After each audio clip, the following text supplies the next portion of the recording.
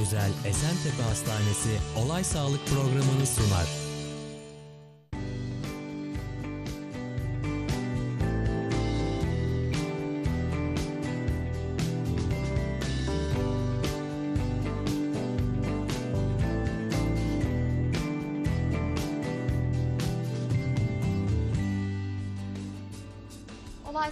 Programından mutlu günler sevgili izleyiciler. Yepyeni bir programda yeni bir konu ve konukla karşınızdayız. Gebelik sürecini konuşuyoruz bugün programda.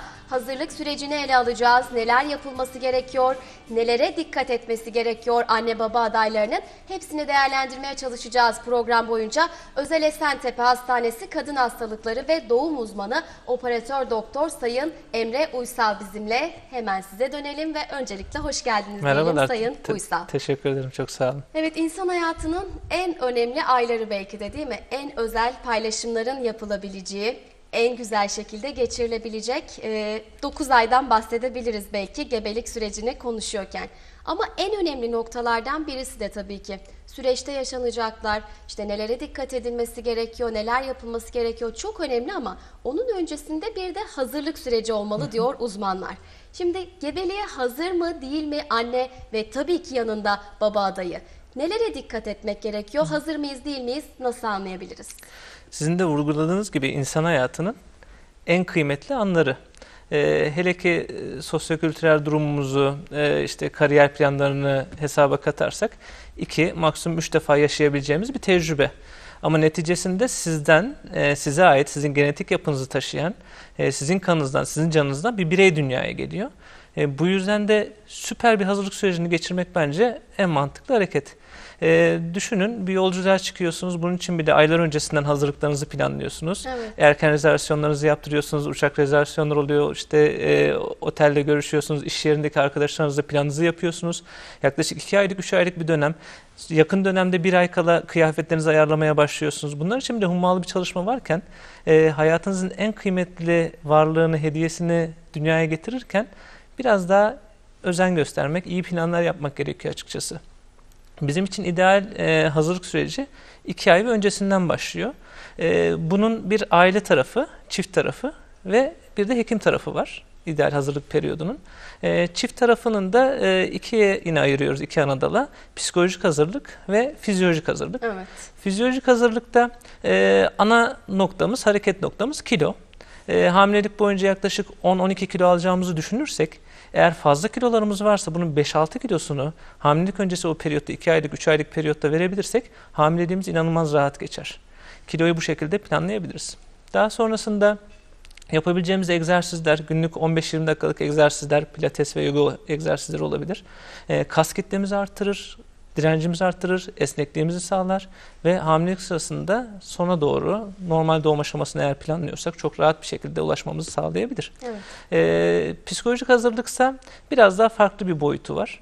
Ee, burada e, en önemli hareket noktamız fizyolojik hazırlıkta nasıl kiloysa psikolojik hazırlıkta da karar verme süreci. Ee, bir aşkın meyvesi, çok yolunda giden bir evlilik, her şey harika. Ama bir anda karar veriyorsunuz, onun bir meyvesi olsun istiyorsunuz. Ama bakalım ilişkiniz bu meyveyi vermeye müsait mi? O kadar olgunlaştı mı?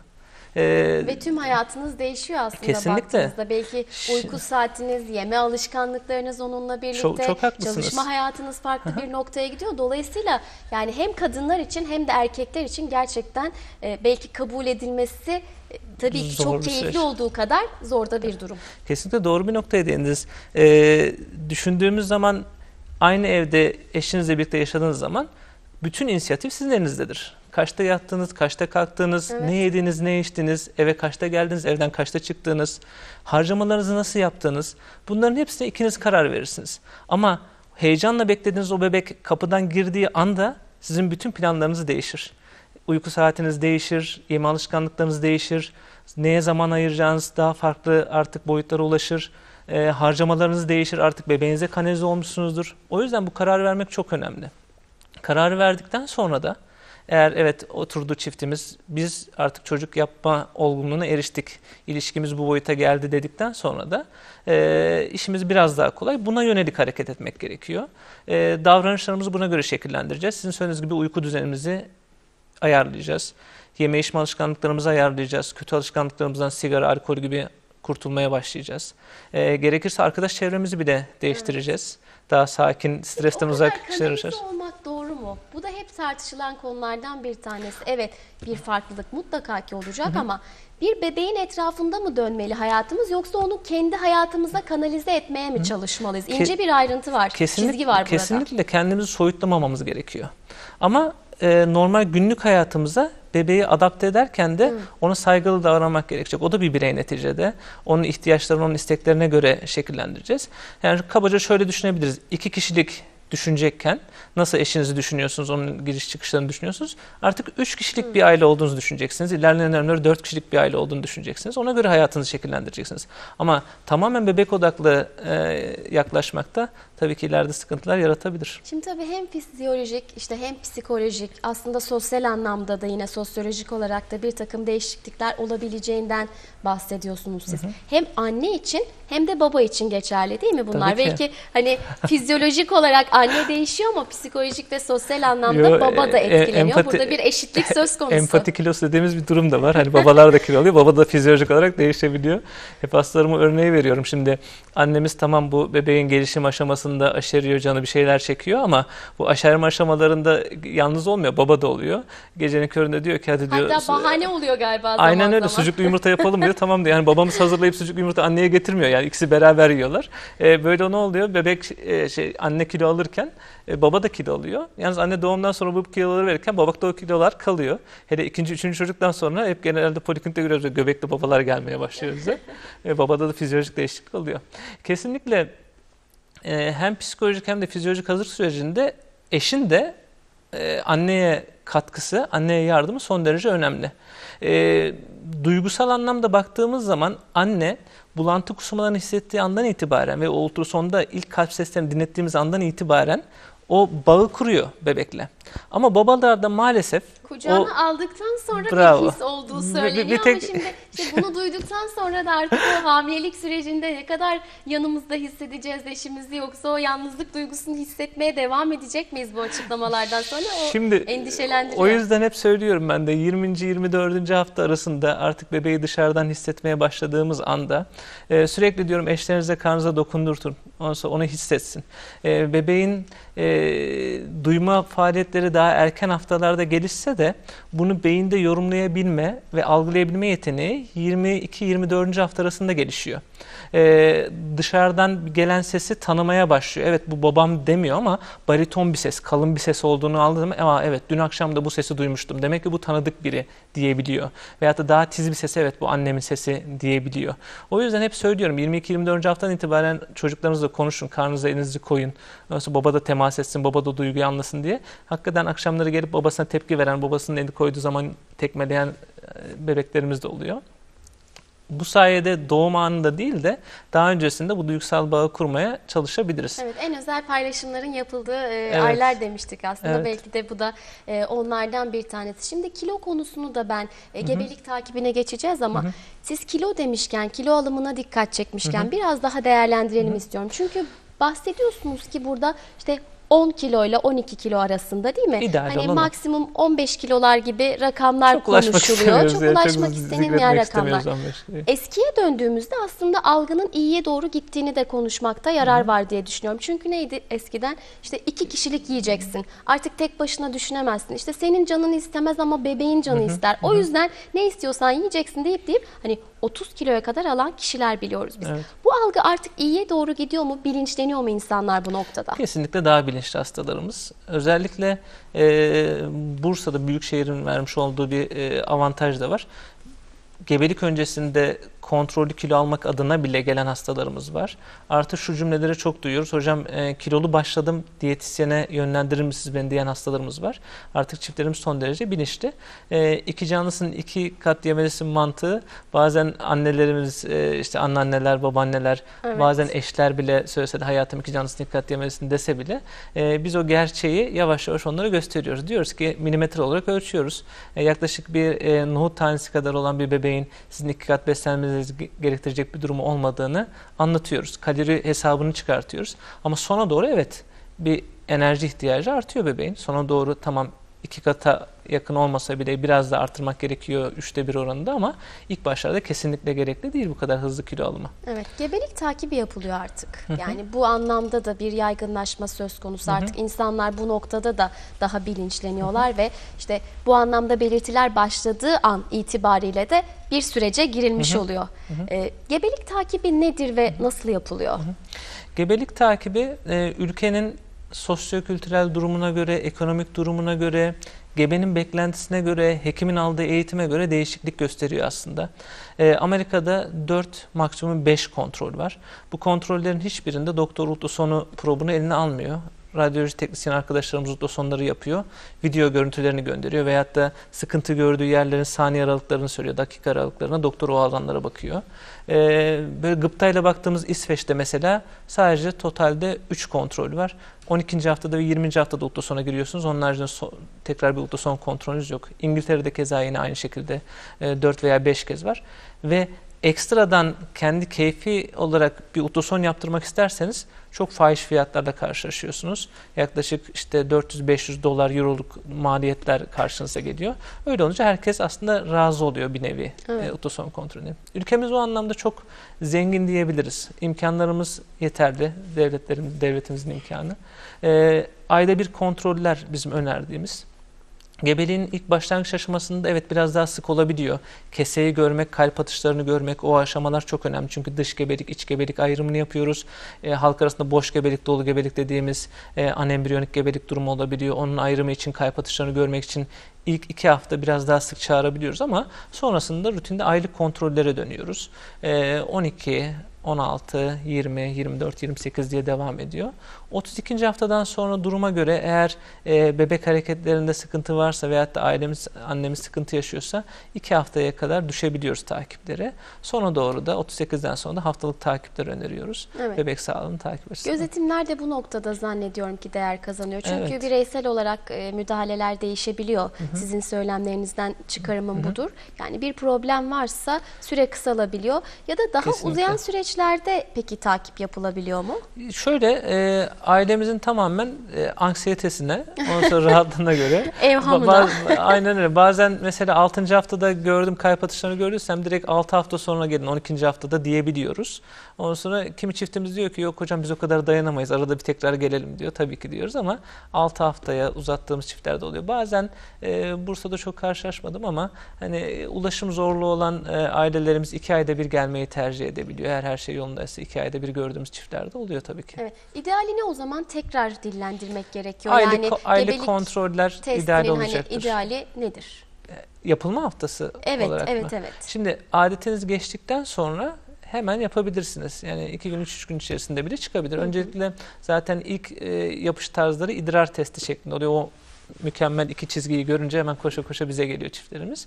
Ama ultrasonda keseyi görebilmek için Transvajinal ultrason dediğimiz yani hazne kısmından yapılan ultrasonda 2000'li değerlerde, karından yapılan ultrasonda da 3500-4000'li değerlere ulaşmak lazım. BTCG gebelik testi değerin.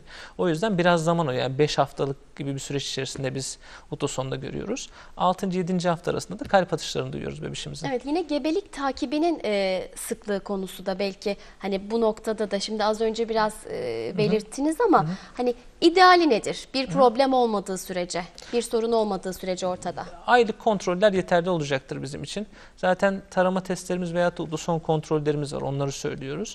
Aylık ayda bir sefer kontrol çiftler için ideal olacaktır. Evet, ultrason deyince tabii ki işte radyasyon alıyor mu yoksa işte bu noktada bebek etkileniyor mu, anne nasıl etkileniyor, ileriye dönük herhangi bir e, problem yaratıyor mu gibi böyle tabii bir takım olumsuz ne yazık ki Doğru sorular söylüyorsunuz. akıllara Sık ultrasona geliyor. girmenin zararı var mı diye hep bize Evet. so- soruyor hastalarımız. Ee, şimdi ultrasonun çalışma prensibine bakarsak bizim kulağımızın duyamayacağı e, kadar sıklıkta ince frekans dalgalarının anne karnına ve bebeğin içinde bulunduğu amniyon sıvısına gönderilip onun tekrar yansıması prensibine dayanıyor. Yani aslında bir nevi radar mantığı gibi. Zaten ilk başlangıç buluş aşaması da ona e, tekabül ediyor. İkinci Dünya Savaşı sırasında bu denizaltıları tespit için sonografik ve ses dalgaları gönderiyorlar geri yansıma prensibine göre. Hatta kadın doğum anlamında bunu ilk e, kullanan, keşfeden de Yan Donald diye bir doktorumuz, kadın doğum uzmanı. E, o sırada e, deniz kuvvetlerinde görevliyken bunu fark ediyor ve ben bunu kadın doğum için nasıl kullanabilirim kullanabilirim diyor ve obstetrikteki kullanımı e, kendisi geliştiriyor. E, burada kesinlikle bilmemiz gereken nokta e, bir radyasyon içermiyor. E, ve bilimsel olarak kanıtlanmış hiçbir e, zararı yok. Bazı çalışmalar yapılmış ama bunlar kesinlikle doğrulanmış değil. Sadece muallakta kalmış e, veriler var elde. E, şunu söyleyebilirim ki termal ve mekanik indeks dediğimiz bazı ayarları var ultrasonlarımızın. Onlar iyi yapıldıysa eğer e, cebinizde taşıdığınız cep telefonundan veyahut da e, saatlerce çalıştığınız bilgisayar ekranından veyahut da izlediğiniz televizyondan e, daha farklı bir radyasyon e, içermiyor. Bu anlamda da çok fazla e, gelişme kaydedildiğini görüyoruz aslında artık. işte üç boyutlu, dört boyutlu gibi Evet. e, tabirler duyuyoruz. Hani şimdi hangi noktada tam olarak bilemiyorum ama e, yeni teknolojik gelişmeleri bu noktadaki yenilikleri nasıl değerlendiriyorsunuz peki? Şimdi bir e, ailenin çok hoşuna giden kısım var. Bir de hekimin çok hoşuna giden kısım var. E, evet görsel olarak baktığın zaman bronz renkte bir görüntü. E, bebeğin burnu, dudakları, yanakları, elleri, kolları her şeyi görülüyor. Çiftler hemen ha sana benziyor, bana benziyor yorumlarını yapıyor. E, çok hoşa giden şey. O tabii o bizi tatmin ediyor ama asıl burada bizim işimize yarayan hekim açısından baktığımız zaman da tıbbi olarak bize açtığı pencere. E, ciddi anlamda e, çoğu rahatsızlığın tespit aşamasında bizim işimizi kolaylaştırıyor. Bir kadın doğum uzmanının aslında bir enstrümanı yani eli kolu gibi düşünebiliriz ultrasonu. Teknoloji geliştikçe e, bazı sıkıntıların görülebilirliği ve bebeğin takibi daha kolaylaşıyor.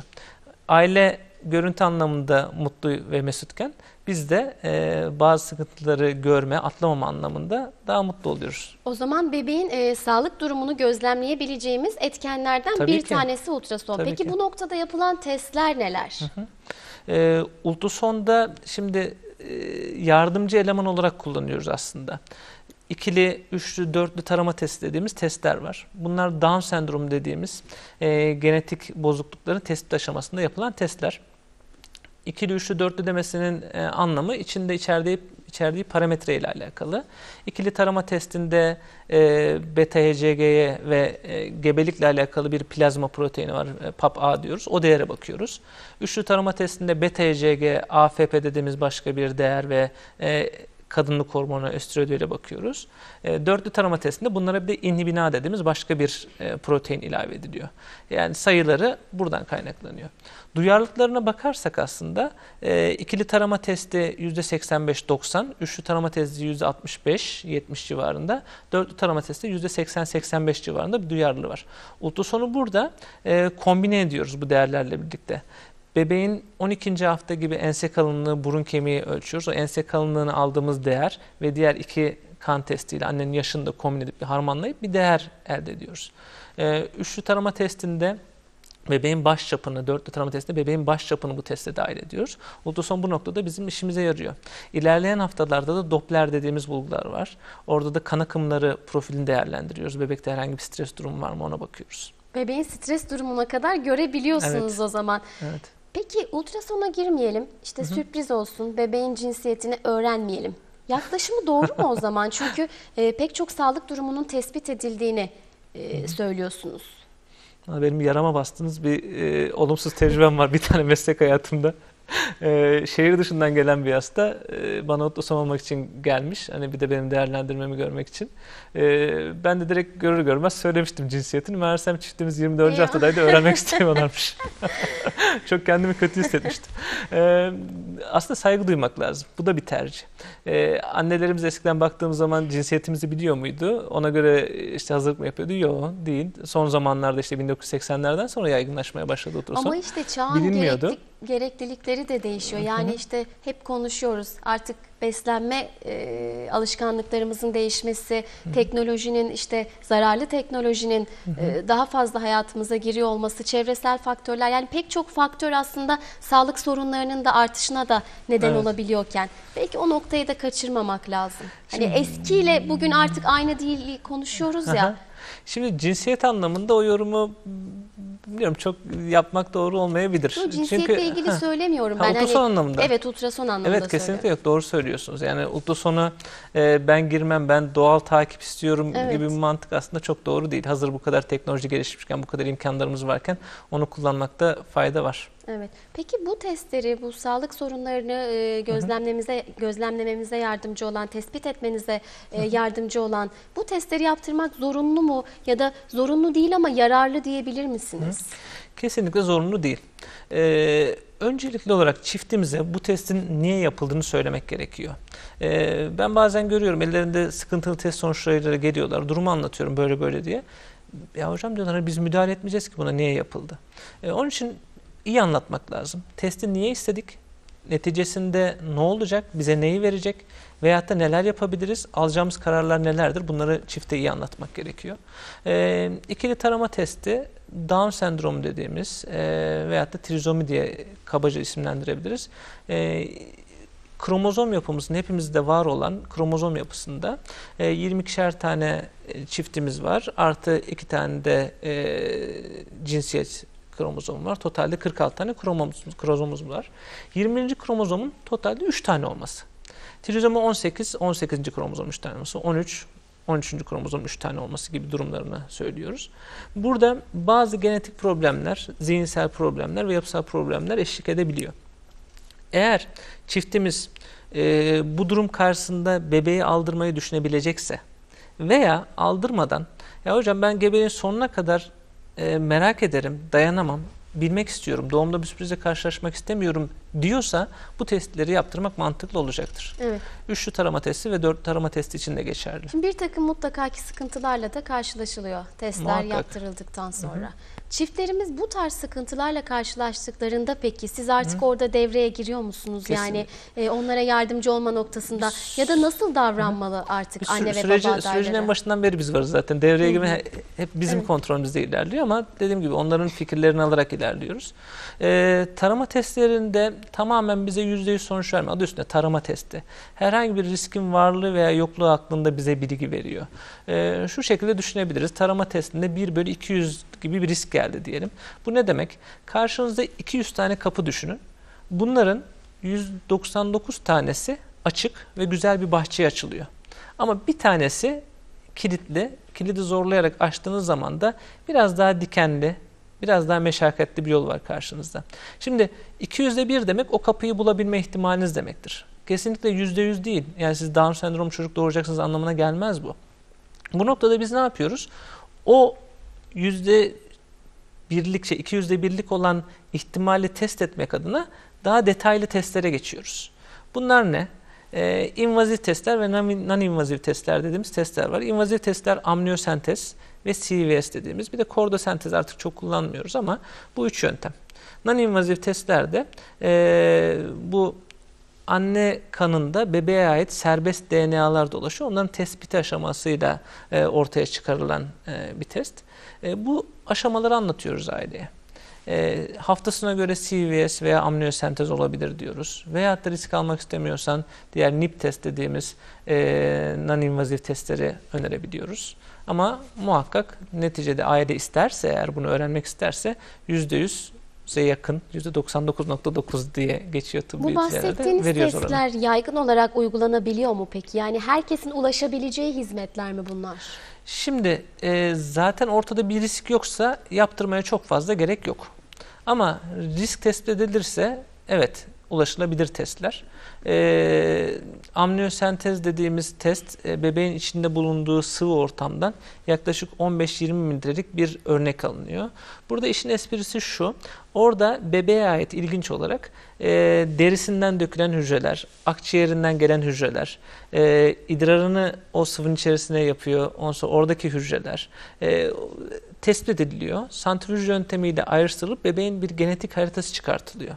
E, CVS yönteminde de bebeğin eşinin olduğu tarafta, plezantanın bebeğin olduğu taraftan örnek alınıp orada bebeğe ait DNA'lar var. Oradan örnek alıyoruz ve o araştırılıyor. Bebeğin bir genetik haritası çıkartılabiliyor. Şimdi testler konusu bizim tabii ilk bölümümüzün artık son konusu olsun. Ee, başlangıçta atladığım e, sorulardan bir tanesi, konulardan bir tanesi bu. Evet, gebelik süreciyle birlikte yapılan bir takım testlerden bahsettik ama gebeliğin başlangıcında ve öncesinde yaptırılması gereken testler var mı? Hı hı. Şimdi e, tekrar başa döndük. Evet. E, çift bize geldiği zaman doktor olan doktor kısmını onu e, tekrar vurgulayalım. Orada e, iyi bir anamnez bize inanılmaz şeyler sağlar. Avantajlar sağlar. Ee, ailenin önceki hastalığı, eşin, e, geçirdiği ameliyatlar, önceki gebelik öyküleri, ailesinde bir genetik rahatsızlığın varlığı veya yokluğu. Bunlar hep kıymetlidir bizim için. Niye? Tedavi planımızı ona göre şekillendiririz. Bunları iyi bir öyküyü anamneze aldıktan sonra e, kan testlerine geçeriz. Hastada kansızlık var mı? Şeker rahatsızlığı var mı? Tiroid problemi var mı? B12'si nasıl? D vitamini nasıl? Yani eksikleri takviye etme ve yerine koyma yöntemine geçeriz. Ona göre test sonuçlarına göre tespit ettiğimiz şeyler, sıkıntılarda müdahale eder ve hastamızı ona göre yönlendirir. Gerekirse ilaç tedavilerini veririz, gerekirse beslenme önerilerinde bulunuruz. Ama bizim kontrolümüzde e, gebeliğe uygun hale getiririz. O zaman şunu söyleyebilir miyiz? Aslında gebelik belirtileriyle birlikte değil de kişiler işte Öncesinde. o sürece hazırlanırken e, bazı testler yaptırmak gerekiyor ve Evet. bazı kontrollerden geçmek gerekiyor. İdeal- Özellikle hani aile öyküsü dediğimiz e, konuya çok fazlasıyla dikkat çekiyoruz burada. Hani genetik işte kalıtsal rahatsızlıklar varsa. Peki ailede varsa ve anne de bu belirtileri artık taşımaya başladıysa bazı hastalıklar konusunda bebekte görülme riski de artıyor mu? Tabii ki yani kromozomal geçiş yani genetik geçiş muhakkak var. Ee, biz burada genelde tekrarlayan gebelik kayıpları olarak karşımıza çıkıyor maalesef bu rahatsızlıklar. Ee, kitabı bilgi 3 ve fazlası e, düşükte habituel abortus diyoruz. Genetik testlerin yapılması gerektiği yönünde ama e, artık ilk başta da söylediğim gibi kariyer planları ön planda, evlilik yaşı biraz daha ileriye alındı. Onun için ikinci düşükten sonra biz hastalarımıza bu testleri yaptırması öneriyoruz. Burada e, hem maternal yani anne tarafından hem paternal baba tarafından kromozom analizi yapıp e, annede belki bir sıkıntı yaratmayabilir tek başına taşıyıcıdır, baba da yaratmayabilir ama ikisi bir araya geldiği anda hastalık oluşturabilecek genlerin varlığını araştırıyoruz. Pıhtılaşmaya yönelik testler yapılıyor. Trombofil dediğimiz orada bir sıkıntı var mı, genetik bir geçiş var mı onlara bakıyoruz. Ona göre planımızı tabii daha erken çizebiliyoruz. Babadan peki kalıtsal hastalıkların Tabii ki. geçmesi söz konusu Tabii ki olabiliyor babadan da- mu da- hem çünkü anne hem baba ortak En başta anlamda. söylediğim gibi o 23 kromozomun e, bir kısmı yumurtadan kalanı spermden geliyor. E, Totalde o 46 kromozom oluşurken yarısı anneden yarısı babadan gelen e, genetik yapıdan kaynaklanıyor. Evet. Sadece aile e, öyküsünü konuşurken belki de gebelik sürecini değerlendirmemek gerekiyor bu noktada. Hep diyoruz ki aile öyküsünde yani ailenizde herhangi bir e, rahatsızlık varsa, Ya, kalıcı rahatsızlıklar varsa işte rutin kontrolleri yaptırmak sadece bebeğin sağlığı açısından değil kendi sağlığımız açısından da e, çok önemli noktalardan bir tanesi. Ama gebelik süreci için tabii ki rutin kontroller artık tek kişi olmadığınız için Evet. az önce belirttiniz iki kişi, üç kişilik e, düşünmeye başladığımız için büyük önem kazanıyor. Sayın Uysal konuşmaya devam edeceğiz efendim. Şimdi kısa bir reklam arasına gidelim. Ardından değerlendireceğiz. Ara verelim. Olay Sağlık ikinci bölümde devam edecek.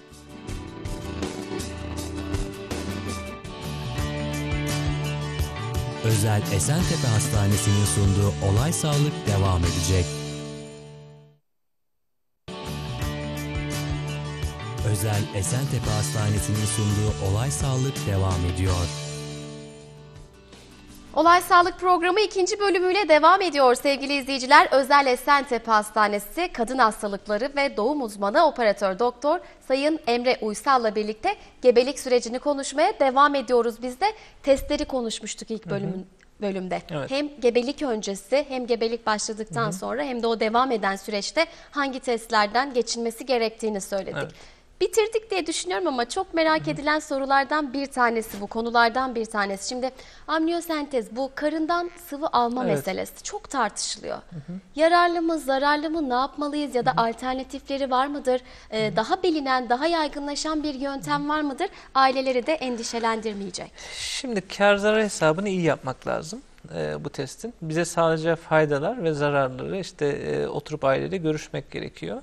E, zarar olarak ne düşünebiliriz? E, tabii ki kolay bir şey değil. E, biz hekimler için e, tecrübe gerektirdiği için kolay gibi görünse de ailenin e, bakış açısıyla gördüğümüzde bir iğneyle bebeğin içinde bulunduğu sıvıya girilecek.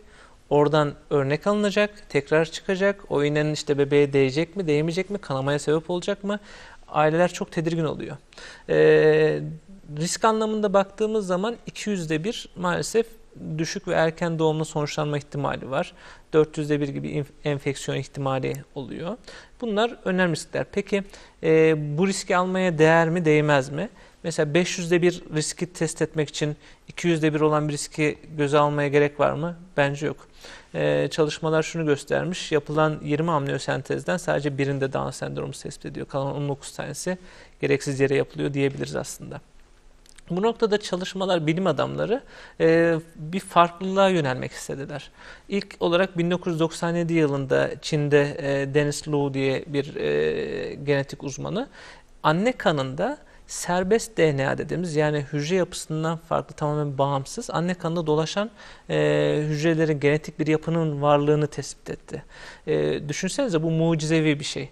Siz bebeğinize can veriyorsunuz, onu besliyorsunuz ama o da bir yandan size ufak ufak bazı kendine ait genetik hücreleri gönderiyor. Sizin kanınızda yapılan çalışmalar şunu göstermiş. %5 oranında hamilelik sırasında o bebeğe ait olan DNA hücreleri geziyor. Ee, işte bu invazif testlerden biraz sıyrılmak, biraz kurtulmak adına e, bilim bu tarafa doğru yöneldi ve non-invazif testler dediğimiz bu serbest hücrelerin araştırılmasına yönelik e, testler ortaya çıktı. E, şu anda Türkiye'de 5-6 tane firma var buna e, ön ayak olan e, ama maliyetler evet biraz yüksek mi? Yüksek. E, ilerleyen dönemlerde bunun biraz daha düşeceğini düşünüyoruz. Rutinde zaten bu testler önerilmiyor. Risk tespit ettiğimiz dönemlerde veyahut da ilerleyen yaşında bunlar önerebiliyor. Daha öncesinde Down sendromlu çocuk doğurma öyküsü varsa onlara öneriyoruz.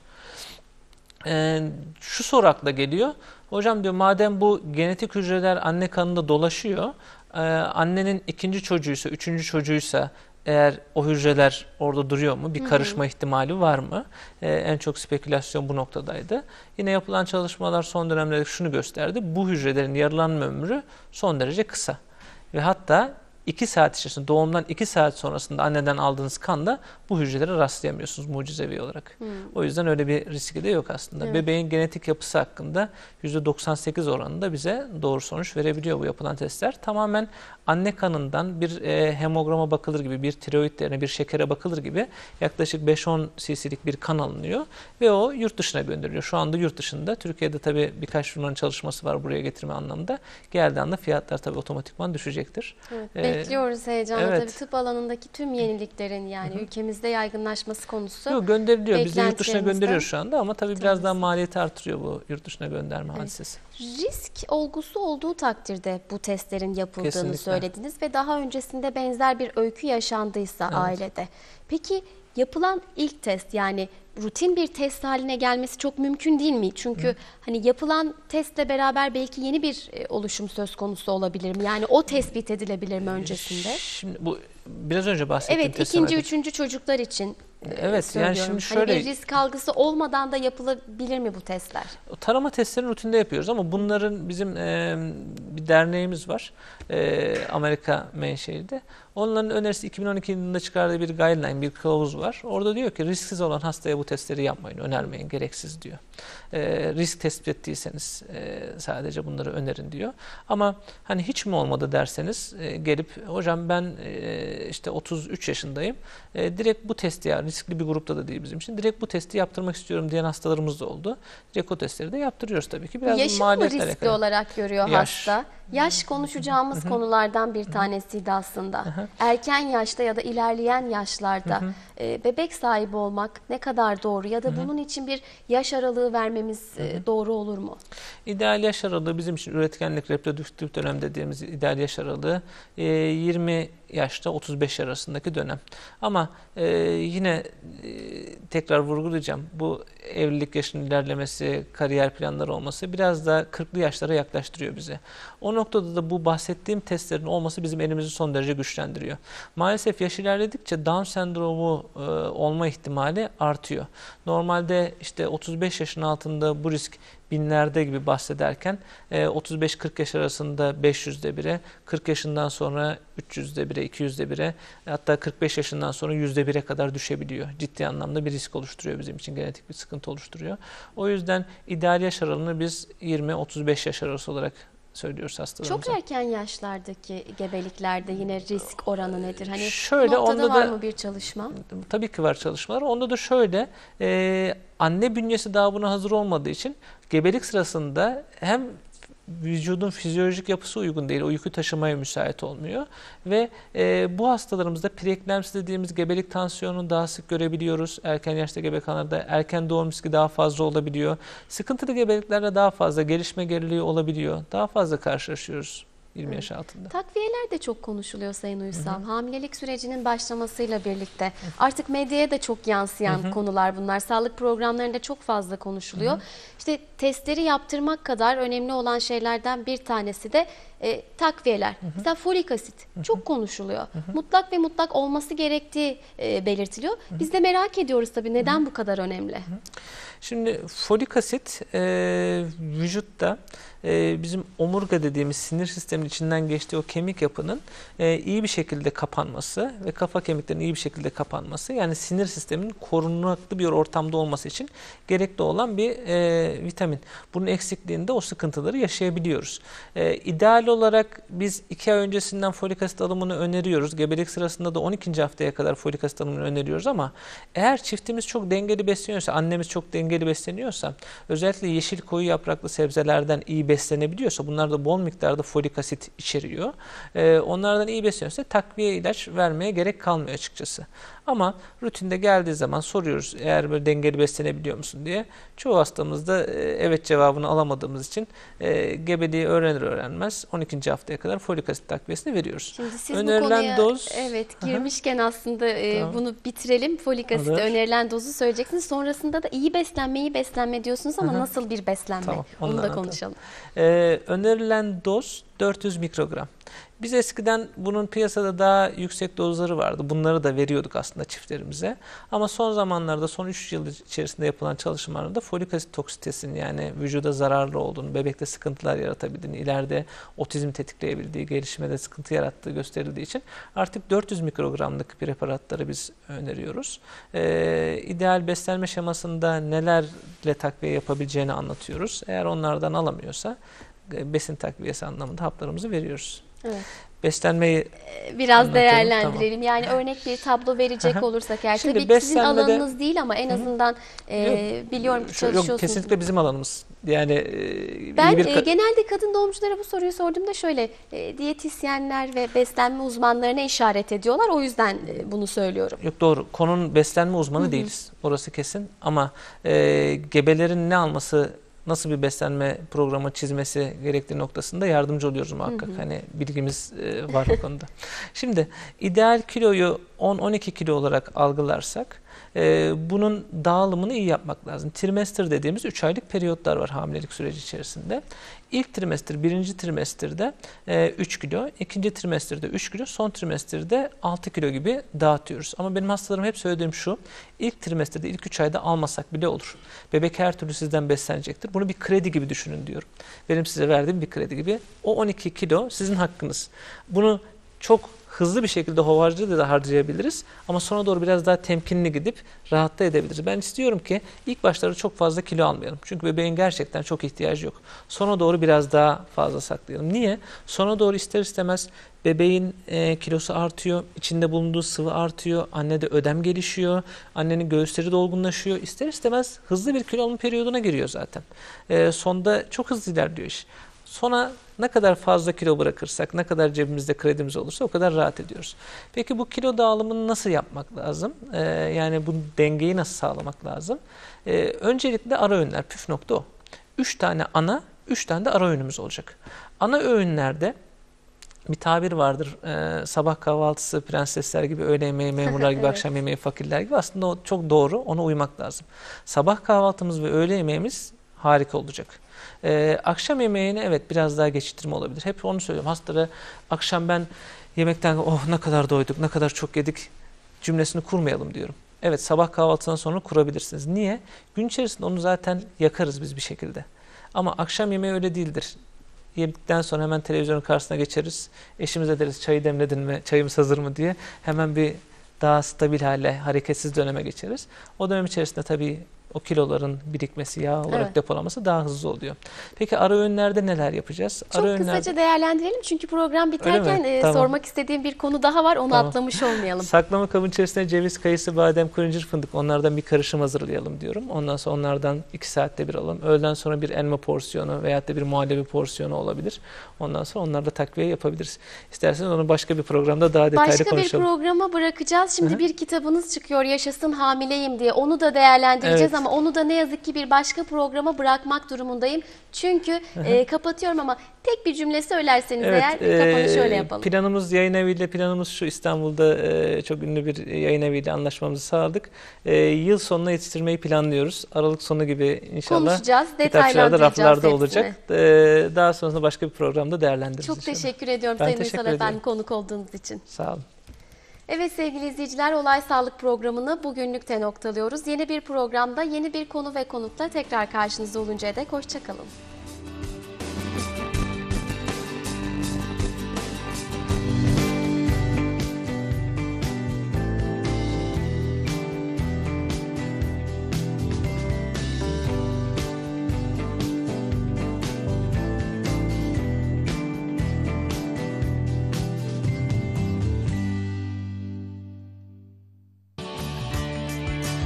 Özel Esentepe Hastanesi Olay Sağlık programını sundu.